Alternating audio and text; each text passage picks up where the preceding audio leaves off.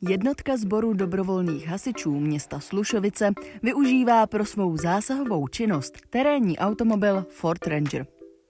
Vůz je osazený dvoulitrovým naftovým čtyřválcem o výkonu 157 kW a automatickou převodovkou se šesti jízdními režimy. Poháněná mohou být kola obou náprav. Nechybí redukční převodovka ani elektronicky ovládaná mechanická uzávěrka zadního diferenciálu.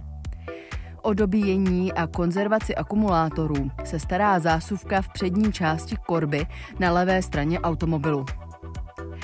Komfort osádky Rangeru zvyšuje nezávislé vytápění a klimatizace. Řidič má k dispozici couvací senzory a parkovací kameru.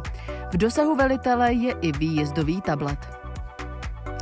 Elektrický naviják Superwitch se syntetickým lanem je uchycený za předním nárazníkem. Jeho tažná síla je 35 kN. Nástavbu tvoří hardtop na tovární korbě. Schrány na bocích jsou kryté výklopnými dveřmi. Bezprostřední okolí vozu osvětlují LED světla na bocích a v zadní části.